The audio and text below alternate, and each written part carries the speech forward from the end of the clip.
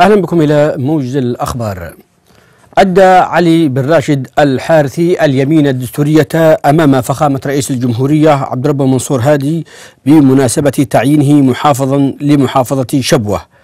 وعقب أداء اليمين وجه فخامة الرئيس المحافظ بالتعاون والعمل المشترك مع وزارة النفط لاستئناف عودة الشركات النفطية وتأمين نشاطها. وقال فخامته إن المناصب تكليف وليس تشريف خاصة في هذه الظروف الصعبة والتي تعيشها اليمن ومن منطلق المهام التي تقع على عاتق الجميع.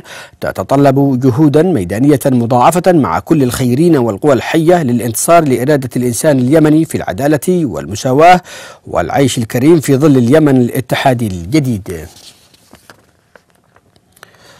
تسلم فخامة الرئيس عبد الرب منصور هادي رئيس الجمهورية اليوم أوراق اعتماد كل من سفير استراليا غير المقيم لدى اليمن رالف بيتر كينج وسفير المكسيك غير المقيم ألفريدو ميراندا وسفير التشيك غير المقيم جيني سالفيك. وعقب تسلم أوراق الاعتماد التقى فخامة الرئيس بالسفراء كلا على حدة مرحبا بهم وموجها بتسهيل مهامهم الدبلوماسية لدى اليمن.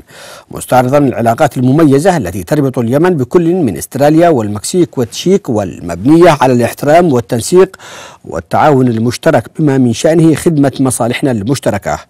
ووضع فخامة الرئيس السفراء أمام مجمل التطورات التي تشهدها اليمن وتداعيات الحرب الإنقلابية للحوثي وصالح وآثارها على الشعب اليمني على مختلف المستويات واستعداء واستهداف دول الجوار من قبل تلك العصابات المارقة التي تؤدي أدوارا مشبوهة.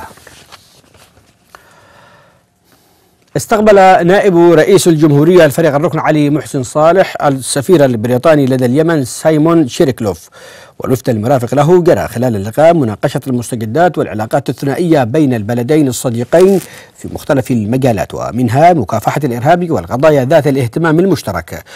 واستعرض نائب الرئيس جرائم الميليشيا الإنقلابية وما ترتكبه من انتهاكات بحق المدنيين وما تتسبب به من معاناة لليمنيين بشكل شبه يومي.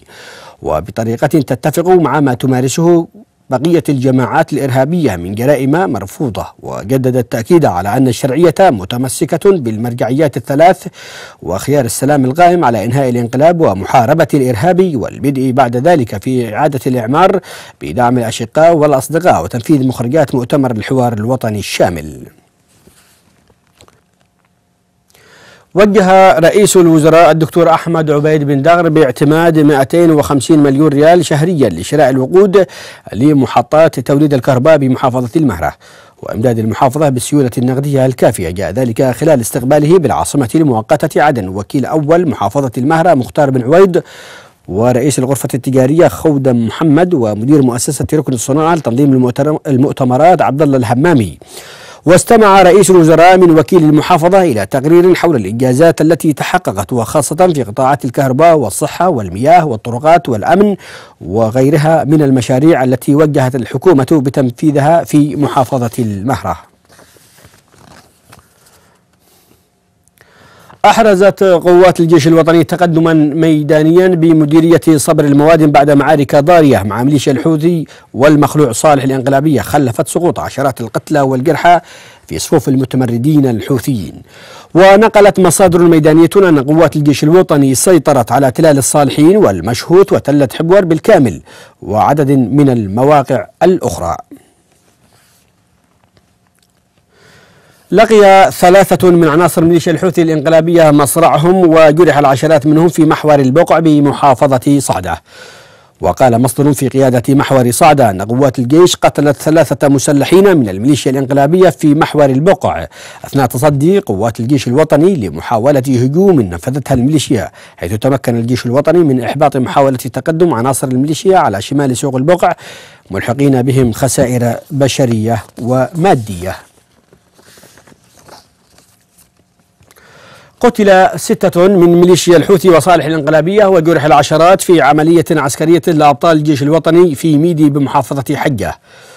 وذكر المركز الإعلامي التابع للمنطقة العسكرية الخامسة أن أبطال الجيش الوطني نفذوا هجوما مباغتا على مواقع الإنقلابيين أسفر عن مقتل ستة منهم وجرح العشرات واستعادة عدد من الأسلحة التي كانت بحوزتهم. انتهى الموجز إلى اللقاء.